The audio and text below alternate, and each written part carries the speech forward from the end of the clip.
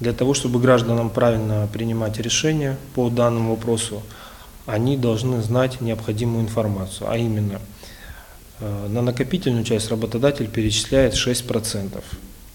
Для того, чтобы эта накопительная часть не обесценилась, она подлежит инвестированию. Э, те граждане, которые никогда не принимали никаких решений, не писали никаких заявлений о переводе своей накопительной части куда бы то ни было, инвестированием э, накопительной части у таких граждан занимается государственная управляющая компания Внешэкономбанк.